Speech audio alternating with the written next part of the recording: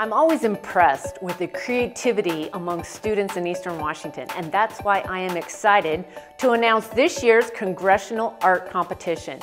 Since 1982, young people from across the country have had the chance to display their art in the United States Capitol. And this year's no different. Eastern Washington's winner will display their piece of art for thousands of visitors that come to the Capitol. And then the three runners-up will have the chance to display in my Spokane, Walla Walla, and Colville offices. Please visit mcmorrisrogers.house.gov for more information.